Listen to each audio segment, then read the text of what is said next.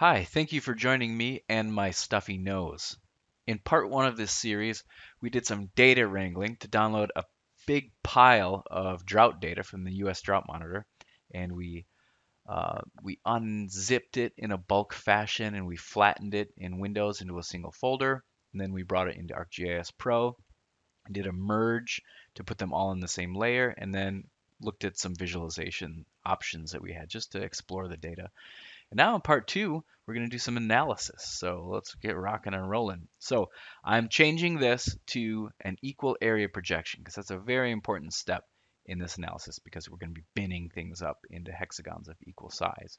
So from the data, we have a, an attribute called DM, and that's like drought magnitude or something like that, like how strong was the drought.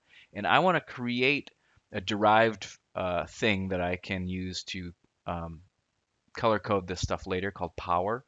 Um, and I'm, I want to use DM for that. And so I'm going to create a new field and I'm going to calculate its attribute. Now, drought magnitude starts at zero, so what I'm going to do is add one to it and then just square it.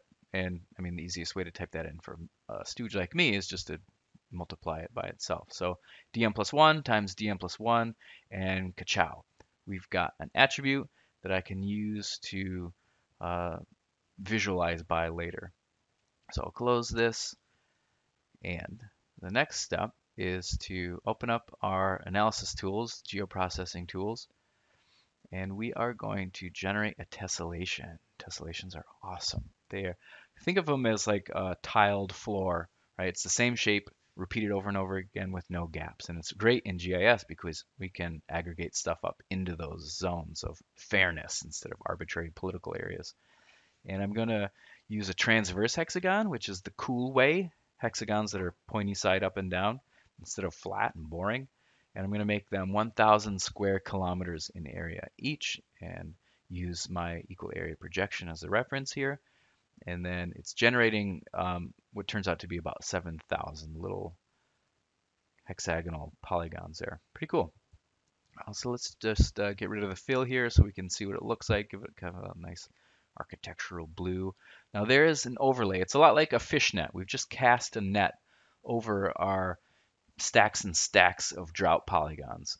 and in the previous video, we looked at the drought polygons and we realized like visualization is going to be really tough with this because there's so much overlap happening. Well, what we're going to do is flatten it into one layer. So using a spatial join, I'm going to put the drought information into the hexagons, which is frankly just magic. Um, I'm going to name my output feature class, and I'm going to go down into the attributes area and say, for the power field that we created, add all those up. So every instance of drought that happens within that polygon, add that power value up. And we're going to say have their center in so that we don't get uh, duplication of values. Uh, and this took about a minute and a half. And here we are, it's all done. Um, see, Take about a minute and a half. There's the elapsed time.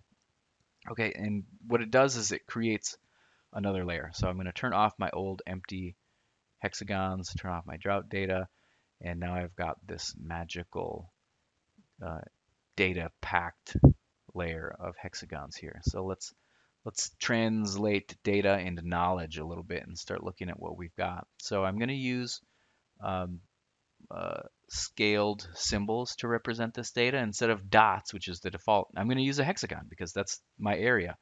Um, but they aren't rotated the cool way. So I'll go inside the symbol properties and I'll just rotate it 90 degrees.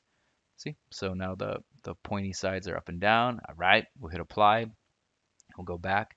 Now the smaller the hexagon, the less less months that drought was there, and the bigger the hexagon, the more months of drought it endured within 2018.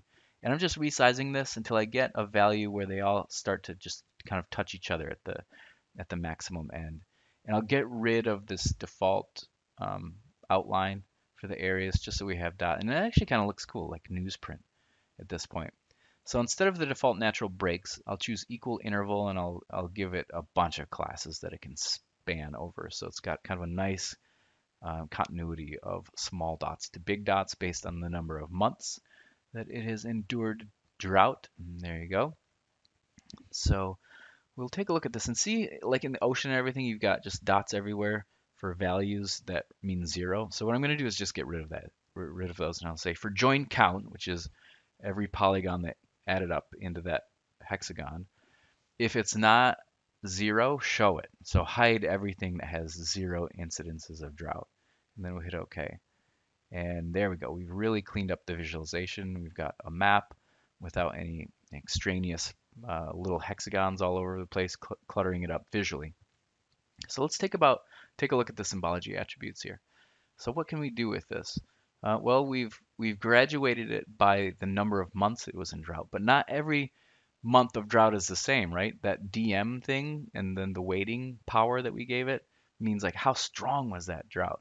And so we're going to do what's called a bivariate map, where scale means how frequently it was in drought, and now color means how powerful was that accumulated drought. And I'm using cool um, Viridis color scheme here, and I'm going to reverse this color scheme because I've got a light background.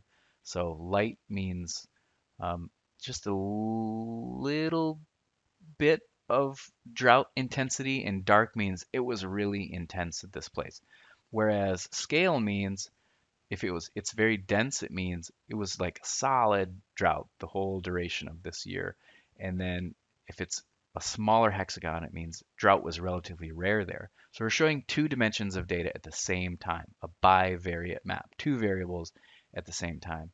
And you're cramming some pretty cool data in here and information, which means we're going to have to do in a follow-up video, some interesting things with our layout to provide context. We're going to have to add a legend to really explain what's going on here because it's kind of complex. So stay tuned for that kind of stuff. So what have we just done? Well, we've created a field, we've populated it, we generated a tessellation, we did a spatial join, which again is just black magic amazing stuff to geographically aggregate data. And then we played around with some bivariate symbology using color for intensity and size for duration. And thank you, as always, for spending this time with me. I hope you learned some tips and tricks and things that'll get you rocking and rolling, making these maps. And we'll see you next time on video number three.